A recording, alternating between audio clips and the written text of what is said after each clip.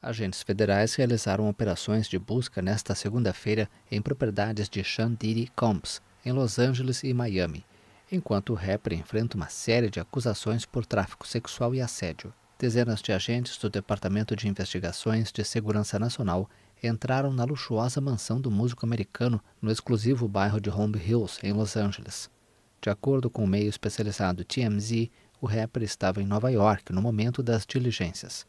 Combs, de 54 anos, é alvo de diversos processos na esfera civil por acusações de índole sexual. As denúncias mostram o rapper como um violento predador sexual que utilizava o álcool e as drogas para submeter suas vítimas. O músico é um dos principais nomes do hip hop americano e tem uma fortuna estimada pela Forbes em um bilhão de dólares. Esse valor equivale a quase 5 bilhões de reais.